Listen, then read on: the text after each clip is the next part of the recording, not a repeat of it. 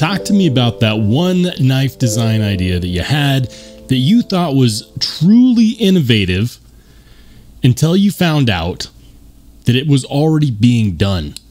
How's it going, everybody? I'm Rollshambo, the connoisseur and collector of all things sharp and shiny. And today we're talking about a knife that I've wanted to get my hands on for quite a while. In, in fact, two knives that I've wanted to get my hands on.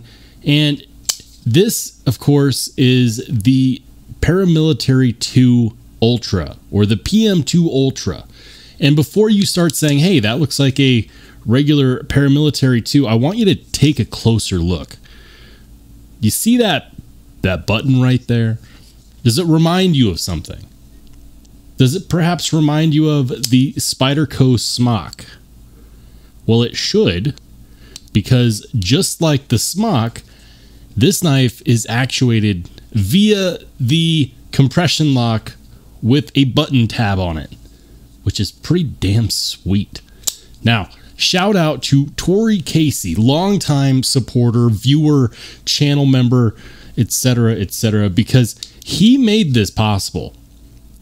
You see, I've been wanting to check this knife out for the last almost a year. It's been about nine months.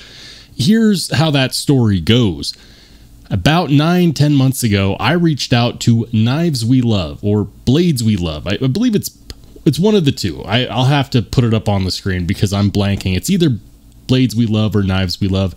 I reached out to them because I saw that they had this. This is their variant. This is their modification that they do.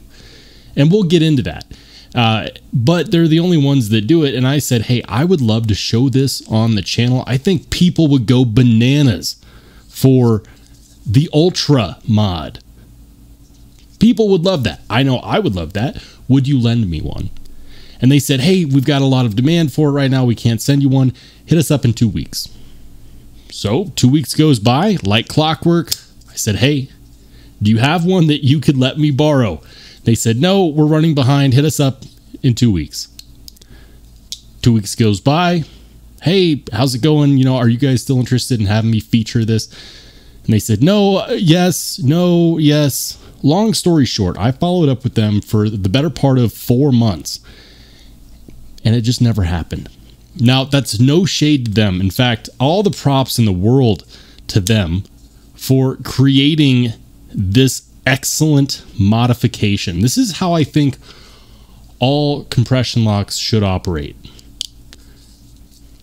But it's not without Tori Casey that this review gets done. Now, I've already talked about the regular paramilitary 2, and I've already talked about the para 3. Let's see how well they do when they go ultra.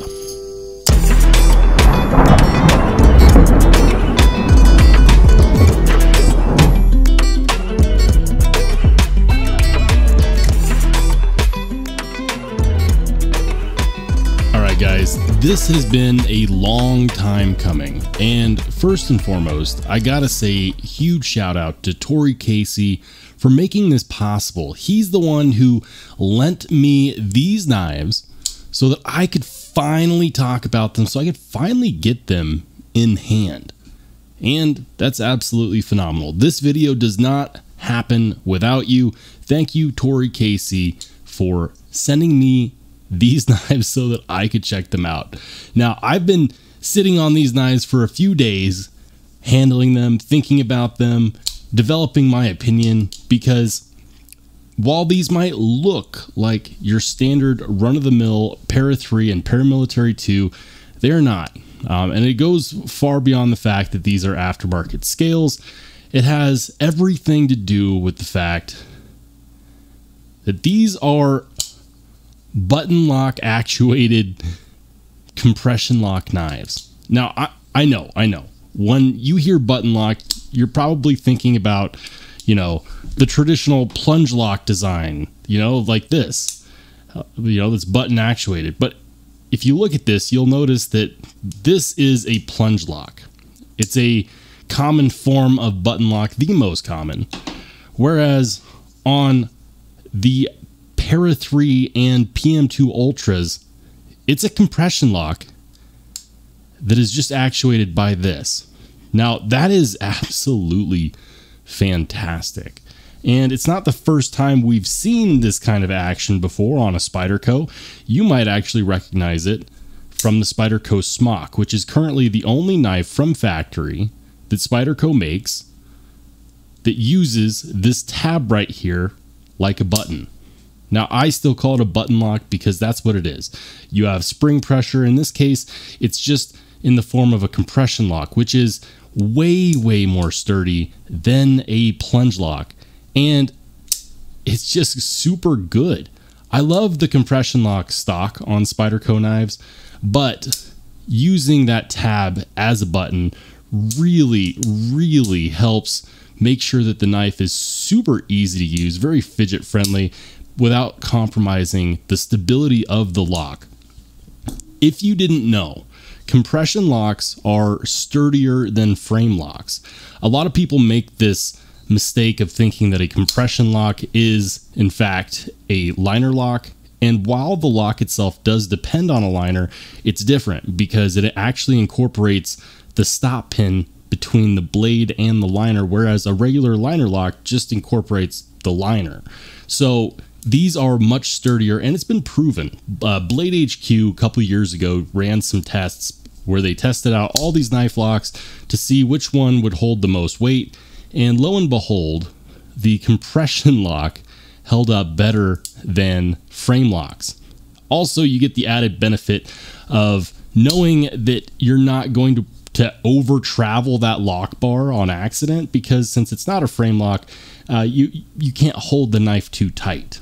The ultras are basically a modification from blades we love or knives we love, and it, it's it's one part adding this tab, but also another part using this specific type of scale. Now, I'm going to be honest, I'm not sure if you have to get these scales from them or if there's companies out there that'll make them for you like this. Um, you'll notice that there is no cutout right here. So it goes beyond just, you know, cutting a hole in your scales and adding this this smock button. We'll call it the smock button uh, because you have to have this that scale material right there to actually be able to drill into so that you can even do this modification.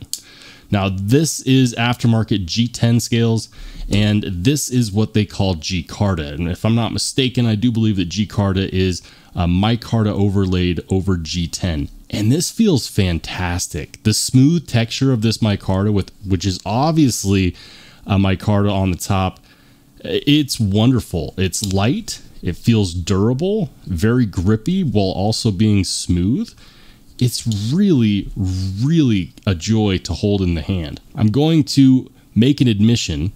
I didn't realize that Tori Casey is left handed. I didn't. So I was a little baffled when I got these in hand, me being right handed, and I was like, something just feels weird. And it took me a hot second, and then I realized, oh, yeah, the clip is on the other side. These are left hand variants.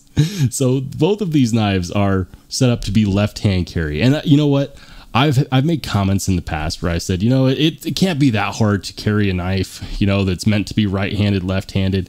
And so this was a challenge for me because here I am having said that. And now I need to hold and actuate a knife right-handed that's meant to be left-handed. And I got to say, it is definitely different. It's not necessarily as easy or doesn't feel the same, but when you hold this in the left hand, it actually does feel better. So, guys, I get that. I see that. I just wanted to go ahead and let you know. Um, I feel your struggle. All you Southpaws out there, I feel your struggle. But if I can do it, uh, you can do it. There's hope for all of us. At the end of the day, it's still a cutting tool. Now, everything that makes a Para 3 and a paramilitary 2 a great knife is still there. You've got the size, you've got the ergonomics, the snappiness of the action, the compression lock being actuated by these buttons is really quite literally the best upgrade you can do to a Spyderco knife. I said it, I'm not going to take it back. It's one of the reasons why I love my Spyderco Smock so much is I love actuating that compression lock with that button tab. It's just fantastic. And being able to get that on a Spyderco Para 3 or a Paramilitary 2 leads me to believe that there's no reason why Spyderco can't do this. They own the patent on the compression lock. They already make it in the form of the smock. Why don't we see this more widely on other knives? It's time. It's time that they recognize that people like the ability to press a button and release a blade. That is legitimately the best way to actuate a compression lock. I know some of you out there are going to say, well, what about the CME? The compression lock made easy mod. It's uh, you know basically a 30 $40 piece of micarta or G10 that you glue on to the compression tab and it acts just like this. It's not the same. And I'm going to say this like, yes, it works. Yes, it makes it easy to actuate, but it is not the same. Aesthetically, ergonomically, it's just not the same. Now, I know that these G Carta scales are from uh, a guy over at Pro Pro Forex, ProX. I'd have to check the message from uh, from the owner of these knives to see exactly where he got them. But I'm telling you right now, G Carta, I'm officially a fan. That feels fantastic in the hands. And also, guys, if you want one of these, um, I've only ever seen these at Blades We Love. So definitely go ahead and, and check them out if you want one of these. Uh, they've they've got quite a few different styles of the scales. And again, the scales are important because the regular scales for a paramilitary 2, just to give you an example, here's my paramilitary 2 see how there's this cutout right there so that you can access the compression lock? These scales do not have that. And without it there, you have nothing to drill through for that button. So the scales are definitely important. I think I would probably want mine in titanium, but you know what? Beggars can't be choosers. Let me know. Have, have you seen these before? Do you want one? Would you love to be able to actuate a paramilitary 2 just like you actuate a smock. Like that is something that I think is stupidly cool and I'm very very excited to have had the chance to check this out. Uh, this modification, the paramilitary 2 Ultra, the PM2 Ultra, the PM3 Ultra, this is quite literally a game changer for this knife. The ease of use of a button with the stability of a compression lock. Best button locks out there, and you know you cannot change my mind. If you only look at button locks uh, as plunge locks, then okay. But this is definitely a button actuated compression lock. And uh, yeah, I said what I said. Guys, let me know what you think in the comment section down below. Are you interested in this style and this design? Are you not interested? If not, why not? Let me know. If you liked the video, make sure to give it a thumbs up. If you didn't like it, boohoo, you know what to do. You can find me in the comments section. And if you want to see more knife content, there's definitely more coming. Make sure you hit subscribe and smash that notification bell. I'm Rollshambo. I'll catch you on the flip side.